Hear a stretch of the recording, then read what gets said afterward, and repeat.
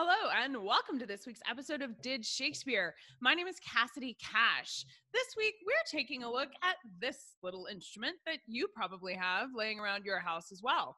In 1562, the Geneva Bible called this instrument the besom. It was one of the instruments the priests used to clean the tabernacle in Exodus chapter 25.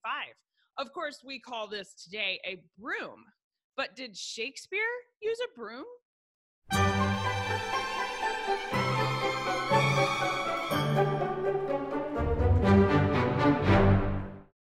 In 1778, Samuel Johnson and George Steevens wrote that, mm. quote, We still say that a husband hangs out the broom when his wife goes from home for a short time, and on such occasions, a broom besom has been exhibited as a signal that the house was freed from uxorial restraint. That means the wife being home. And where the master might be considered as a temporary bachelor. This comes from their notes on Shakespeare's play, The Tempest, which is where we see the quote from Act 4, Scene 1, when Iris says, to make cold nymphs chaste crowns and thy broom groves whose shadow the dismissed bachelor loves being last morn of course they're explaining this cultural phenomenon that existed during shakespeare's lifetime where a man who was home without his wife would put a broom out to signify that she was not home there are two other places shakespeare mentions brooms and cleaning from a midsummer night's dream act 5 scene 1 puck says i am sent with broom before to sweep the dust behind the door then in Henry VI, Part 2, Act 4, Scene 7, Jack Cade calls it a besom and says, I am the besom that must sweep the court clean of such filth as thou art. So obviously, a lot of symbolism existed with the broom, and it's worth mentioning there is a massive amount of history associated with brooms and witches and witches riding brooms, but that particular part of the history of the broom is for another episode. This week, we're taking a look specifically at the broom's use in practical terms. Did Shakespeare use a broom to clean his house with? And it turns out, yes, the bard did have a broom and it was used specifically for cleaning floors. Now, let's take a look at what that would be.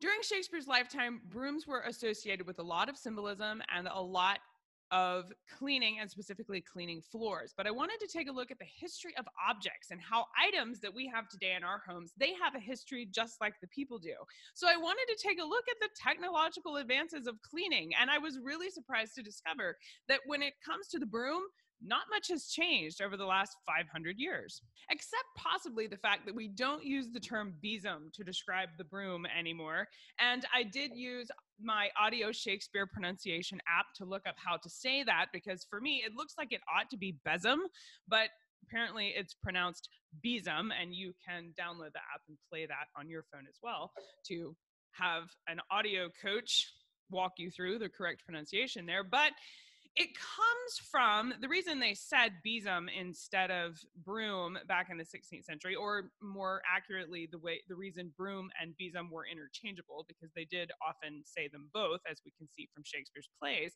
It comes from an old English word called besma, which meant bundle of twigs, and it was used as a broom or a flail. And a flail is something that you hit things with. If you think about dusting out a rug, if you've ever taken a rug outside and thrown it over a bear barrister and flailed it, that's what's going on. The basic design involved binding up the sweeping bundles onto a wooden stick. So you would get together plants or twigs that were dried out, and you would use some rope or twine and tie it around a long wooden stick and these were considered homespun brooms and they they had very short lives. So they worked but not very long. You would have to go and, and make them again. And so the this need of a broom that lasted longer and didn't have to be replaced was something that became a profession for people in the 16th century.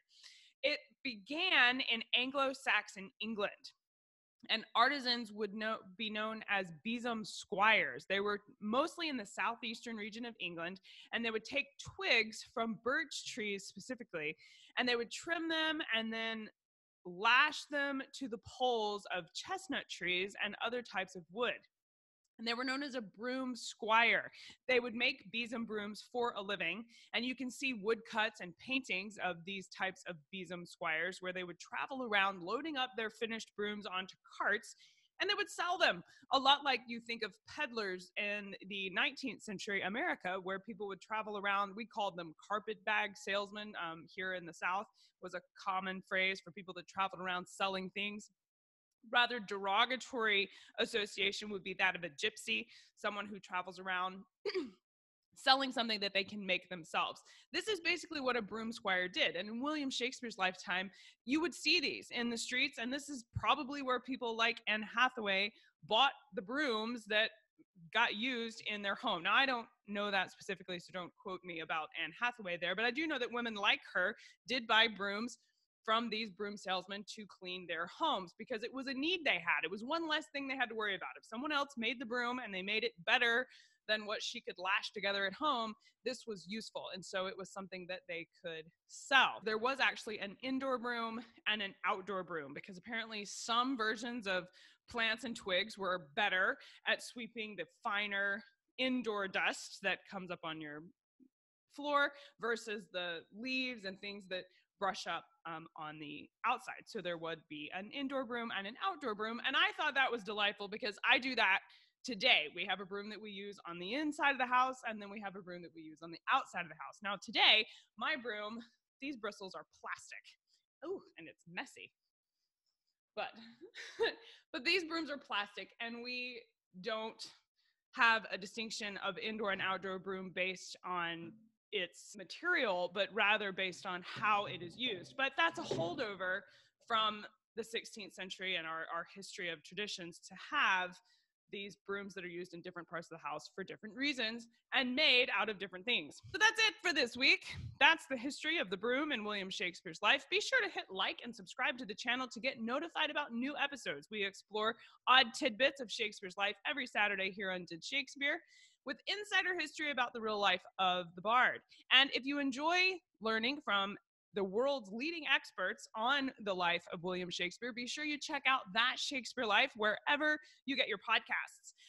That Shakespeare Life is the podcast that takes listeners behind the curtain and into the real life and history of William Shakespeare by interviewing the experts who know him best. We have new episodes every Monday morning at 8 a.m. Central Time. That's the time zone we're on here in Alabama. And you can listen along with us on iTunes, Spotify, Google Play, and so many others. Find out more about the show in the links below this episode. Until next time, I'm Cassidy Cash, and I hope you learn something new about the Bard. Bye bye.